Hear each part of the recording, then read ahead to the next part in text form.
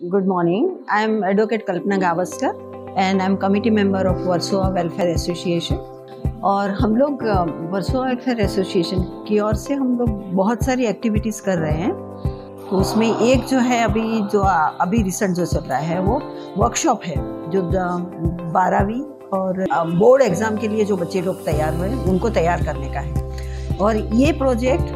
अभी का जो पोजीशन अभी जो दो साल की जो लॉकडाउन की पोजीशन है, उसमें ये प्रोजेक्ट बहुत मान्यता रखते हैं क्योंकि अभी ऑफलाइन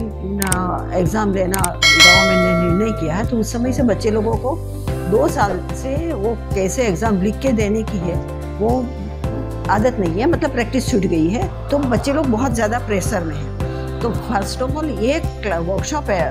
डाल के हम लोग उनको तो एनकरेज करते हैं, उनका वापस कॉन्फिडेंस ला रहे हैं। कि इस तरह से लिखें और देन उसको प्रैक्टिस दे रहे हैं कि कैसे एग्ज़ाम में पेपर लिखे जाए। तो इसकी वजह से ये ये प्रोजेक्ट है, वो अभी की जो सिचुएशन उसमें बहुत बहुत इम्पोर्टेंट है। और ये जो अजय सर है, वो, मैं एक बता सकती हूँ कि ही लव्स हिज जॉब